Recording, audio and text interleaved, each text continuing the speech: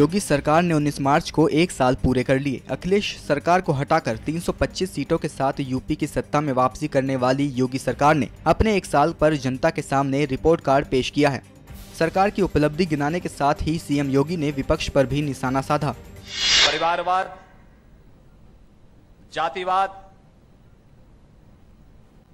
मत और मज़हब के आधार पर समाज को बांटने वाली विभाजनकारी राजनीति के कारण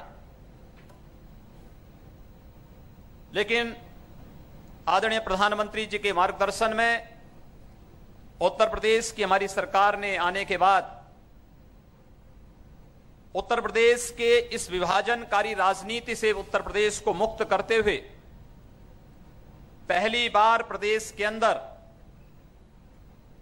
प्रदेश का किसान, प्रदेश का नौजवान, गाँव, गरीब, किसान दलित वंचित और समाज के अंतिम पायदान पर खड़ा हुआ व्यक्ति भी शासन की एजेंडे का हिस्सा बन सकता है।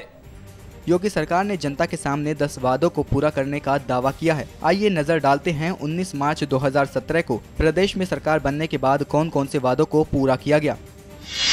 विधानसभा चुनाव 2017 के पूर्व हम सब के सामने एक लोक कल्याण संकल्प पत्र प्रस्तुत किया था। और ये लोक कल्याण संकल्प पत्र उत्तर प्रदेश की आम जन की भावनाओं का प्रतिनिधित्व करने वाला एक ऐसा महत्वपूर्ण दस्तावेज़ है, जिसके बल पर आज पूरे प्रदेश के अंदर हमारी सरकार विकास की उन योजनाओं को गरीब कल्याण योजनाओं को और शासन की योजनाओं को आम जन तक पहुँचाने का कार्य कर रही है। योगी सरकार के मुताबिक इन एक साल में सरकार ने छत्तीस हज़ार करोड़ के प्रावधान से छियासी लाख लघु और सीमांत किसानों की कर्ज माफ़ी की। प्रदेश के अंदर किसान को समाज की मुख्य धारा के साथ जोड़ने के लिए हम लोगों ने प्रदेश के अंदर छियासी लाख किसानों का लघु और सीमांत किसानों का 31 मार्च 2016 तक के एक लाख तक की सीमा के कर्ज को माफ़ करने का निर्णय लिया। गन्ना किसानों का सत्ताईस हज़ार करोड़ रुपए बकाया भुगतान करने का भी सरकार ने दावा किया। गन्ना किसान बदहाल था। आपने देखा होगा उत्तर प्रदेश सरकार की डॉक्यूमेंट्री में कि हम लोगों ने अब तक सत्ताईस हज़ार करोड़ रुपए से अधिक की धनराशि गन्ना किसानों का, जो बकाया था उसका भुगतान अब तक हम लोग करवा चुके हैं।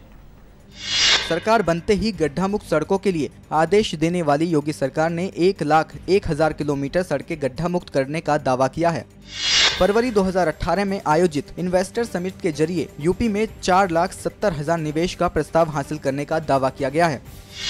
केंद्र की उज्ज्वला योजना के तहत सूबे के छप्पन लाख गरीब परिवारों को मुफ़्त गैस कनेक्शन दिए गए हैं। प्रधानमंत्री आवास योजना के तहत 12 लाख पंद्रह हज़ार आवासों का निर्माण किया गया। सूबे में कानून का राज स्थापित करने का भी योगी सरकार ने दावा किया। इन एक साल में बारह सौ चौरानवे मुठभेड़, तीन हज़ार पैंसठ अपराधी गिरफ़्तार, पैंतालीस अपराधी मारे गए हैं। योगी सरकार ने गाजियाबाद मेट्रो का विस्तार किया। मेरठ, कानपुर, आगरा का डीपीआर भेजा। वहीं गोरखपुर, वाराणसी और इलाहाबाद के लिए डीपीआर तैयार किया गया है। अल्पसंख्यक बाहुल्य इलाकों में 28 प्राथमिकी स्वास्थ्य केंद्र, एक सामुदायिक स्वास्थ्य केंद्र, छह आयुष चिकित्सालय 45 इंटर कॉलेज 22 आईटीआई भवन 348 आंगनबाड़ी केंद्र, तीन पोलोटेक्निक और 20 पेयजल परियोजना का निर्माण किया गया। सौभाग्य योजना के तहत सूबे के 32 लाख परिवारों को विद्युत कनेक्शन दिया गया।